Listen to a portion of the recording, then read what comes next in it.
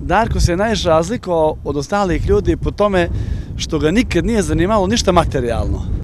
Tako o Darku Vujoševiću, heroju sa Vranjene koji je izgubio život u pokušaju da spase tročalnu porodicu Kumburovica kojima je bio prijatelj za Novu M, govori njegov kum Gavro Dedić. Nikad se nije divio ljudima koji imaju novac, nikad se nije divio ljudima koji imaju nekakvu slavu. Uvijek je cijenio ljudima ono duboko u duši. Uvijek je, uvijek je za ljude govorio kakva je to dobrota, kakva je to duša. Bio je neobičan, divio se ljudima koji su svoj život bili spremni žrtvovati zarad drugih, prisjeća se Gavro. Prije neku godinu, kad je neki momak pošao da spasava svoje drugove, Darku je to bilo nešto uzvišeno i on je govorio blago njemu, on je direktno pošao u carstvo nebesko. Njegova vezanost za manastir na Vranjeni bila je posebna. Volio je ljude, a Boga iznad svega. Vrlo je bio komunikativan. S druge strane, bio je vrlo tih, miran i, i nenametljiv. Uh, čovjek koji, se, e, koji je baštinio najveće hrišćanske vrijednosti, znači ishodno tome je živio. I eto tako je i skončao ovaj, spašavajući, davajući život za drugoga. Zbog toga nije ni osjetio strah kada se zaputio da iz razirenog jezera 3. februara spase prijatelje. Darko nije samo govorio o pravim vrijednostima, on ih je i živio samo se je plašio da on ne pogriješi nešto pred Bogom i da ga Bog ne kazni.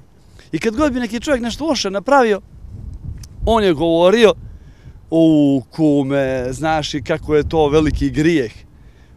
On je brinuo za duše tih ljudi koji loše rade, a nije se uopšte osvrtao na te neke posljedice toga nečega što taj čovjek loše uradi. Zato Darkov herojski podvig nije iznenadio njegove prijatelje sve drugo bi mi iznadilo. Mislim da, da o, o, svi ljudi koji su ga poznavali e, bi, isto ovo rekli. U Joševice viteškim činom upisao u knjige besmrtnih. Junak našeg vremena ostavio iza sebe golemu tugu, ali svjetli primjer budućim naraštajima. Da on pošao u carstvo nebesko, da je on ostvario ono što je on htio.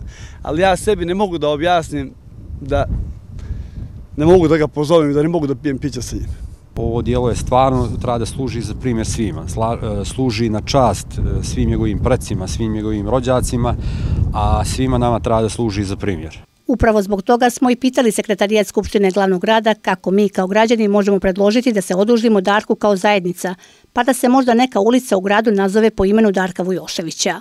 Oni su nam objasnili proceduru.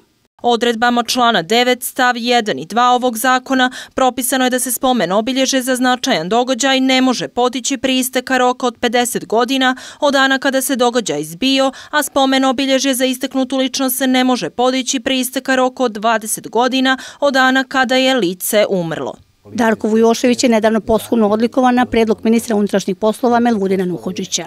Komisija MUPA za dodjelu nagrada i priznanja odlučila je da za iskazanu hrabrost i požutovanost plaketom nagradi podvik Vujoševića 1. marta. A mi ćemo da upamtimo herojski čin našeg sugrađanina, čije duša veća od Skadarskog jezera.